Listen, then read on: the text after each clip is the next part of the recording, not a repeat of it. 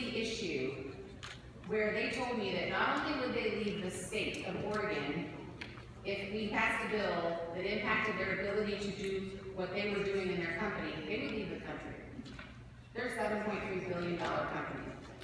That absolutely got my attention. So, I went to the proponents of the bill, and I said, all right, let's have a conversation. This was about three years ago. Let's have a conversation. How do we make this better? In another world, I was a UFCW member, they're one of the proponents of this bill. So I put myself through college, working at Fred Meyer's and Albertsons, slicing meat in the service deli. And there are pieces of the bill, I said, look, it's not necessarily practical. If you work in the service deli at Fred Meyer's, you might not also know how to run the checking, you know, check cash register. So maybe we need to talk about that employer size. We talked to, heard Representative Leonard to talk about the act of God issue. One of the days we negotiated this bill was when we were not in session, and it had snowed.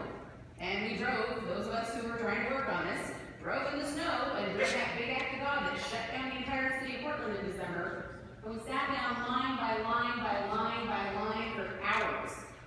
And we talked about what the actual business reality is when you ask for things that maybe sound good to proponents, but are going to impact somebody else's business day.